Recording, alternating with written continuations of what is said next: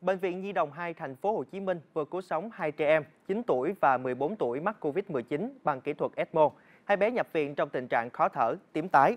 Bé trai 9 tuổi mắc Covid-19 sau 4 ngày sốt ho thì khó thở, các bác sĩ chẩn đoán tổn thương hai phổi, tiến triển nguy kịch.